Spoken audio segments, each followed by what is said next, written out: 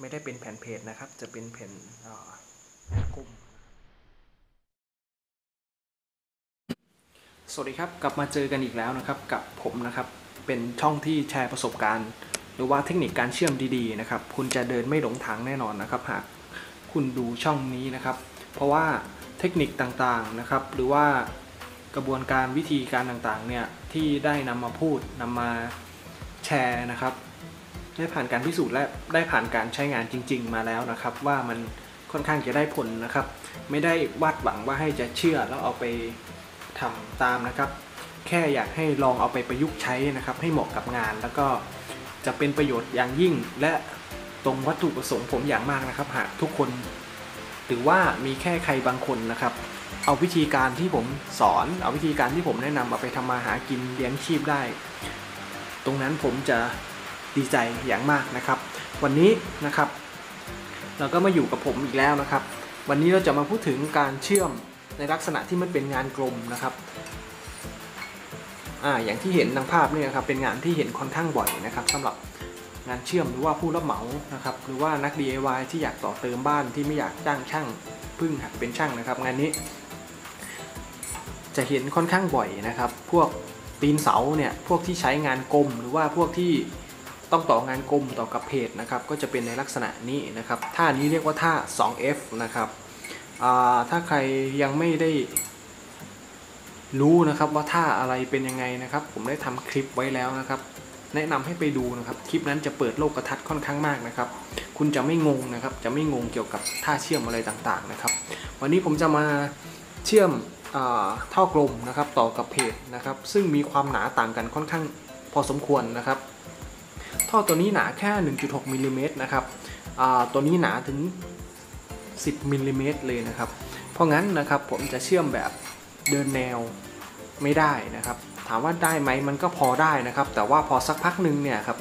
พอสักพักหนึ่งเนี่ยฮีทอินพุตมันจะค่อนข้างสูงนะครับ ก็คือความร้อนมันจะถ่ายเทเข้าไปค่อนข้างสูงนะครับ พอถ่ายเทเข้าไปค่อนข้าง พอถ่ายเทเข้าไปเยอะแล้วเนี่ยงานตัวที่มันเป็นชิ้นบางก็คือตัวท่อตัวนี้นะครับ มันจะร้อนมากนะครับ พอร้อนมากปุ๊บเนี่ยมันมีโอกาสจะทะลุนะครับ มันมีโอกาสจะทะลุนะครับ มันจะบังคับให้เราเชื่อมค่อนข้างเร็วนะครับ หากเราเชื่อมช้ามันก็จะทะลุถ้าเราเชื่อมเร็วปุ๊บเนี่ยแนวมันก็จะค่อนข้างที่จะเล็กนะครับ ความสามารถในการรับแรงก็ต้องพิจารณาเอานะครับ อันนี้ไม่มีอะไรผิดอะไรถูกนะครับ แต่ว่าเเราต้องพิจารณาถึงความเหมาะสมในการใช้งานของตัวชิ้นงานเองนะครับ เดี๋ยวเราเชื่อมไปเรื่อยๆ ทำงานเยอะๆนะครับ ตรงนี้มันจะมันจะสอนเราเองนะครับ วันนี้ผมจะมาทำการเชื่อมแบบให้เป็นเกรดนะครับ เชื่อมก็คือแต้มยกแต้มยกไปเรื่อยนะครับ เพราะว่ามันบางมากตัวนี้นะครับ ก็คือจะพยายาม balance ไฟให้ได้ระหว่าง ให้มันหลอมระหว่าง 2 ตัวนี้ติดกันนะครับ ก็คือถ้าแต้มยกเนี่ยมันจะได้แนวที่ค่อนข้างกว้างนิดนึงในการรับแรงเนี่ยมันจะรับแรง ได้ดีกว่านะครับ เพราะพื้นที่การรับแรงมันค่อนข้างเยอะกว่านะครับ โอเคครับ เดี๋ยวจะเป็นยังไงก็ไปลองดูครับ ไปลองดูนะครับ โอเคครับ เดี๋ยวไปลุยกันเลย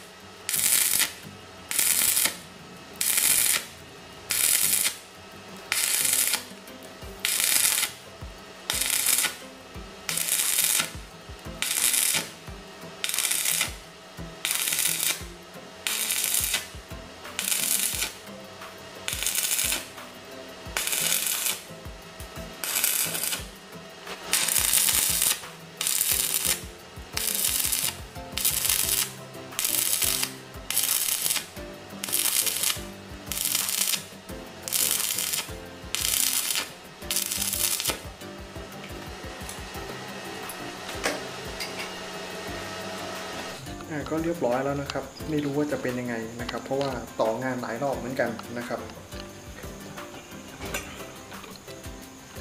เดี๋ยวเรามาลองเคาะดูนะครับว่าแหนมเชื่อมจะมีความต่อเนื่องหรือว่ามีสะดุดตรงไหนไหม แต่ผมกลัวว่าจะมีปัญหาตรงรอยต่อนะครับเดี๋ยวไปดูพร้อมกันเลยดีกว่าครับ ตรงนี้เป็นรอยต่อนะ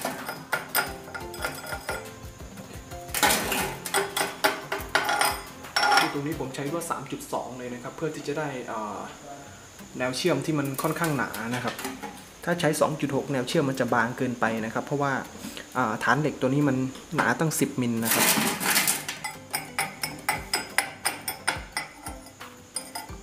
มีตามดนิดหนึ่งนะครับสำหรับใครที่ดูคลิปที่แล้วก็จะรู้ว่าตามดมันเกิดขึ้นได้ง่ายนะครับสำหรับ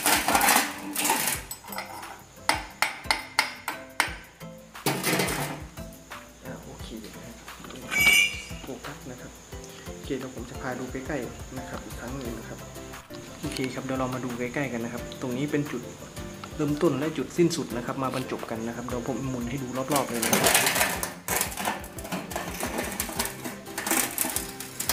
ตรงนี้เป็นรอยต่อนะครับ ตรงนี้ไม่ค่อยเนียน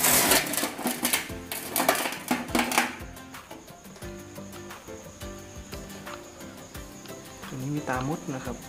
อา พอดีมันใกล้เกินไปกล้องผมมันไม่ค่อยโฟกัสนะครับดูภาพรวม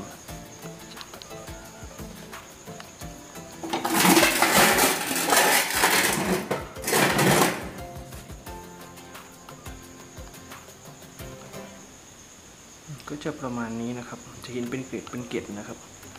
ก็เดี๋ยวผมจะทำความสะอาดด้วยแป้งบดอีกครั้งหนึ่งนะครับ เดี๋ยวเรามาดูสุดท้ายกันนะครับ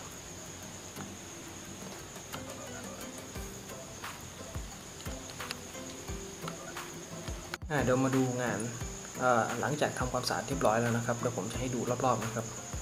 ก็จะได้ประมาณนี้นะครับสำหรับงาน 2F นะครับก็คือเชื่อมตัว G ท่าขนานนอนนะครับ แต่ไม่ได้เป็นแผ่นเพจนะครับ จะเป็นแผ่นงานกลมนะครับ ตรงนี้จะมีความยากขึ้นมาอีกนิดหนึ่งนะครับ เพราะว่าพวกมุมรถเชื่อมพวกอะไรต่างๆเนี่ยมันต้องเอียงตามค่ารัศมีของ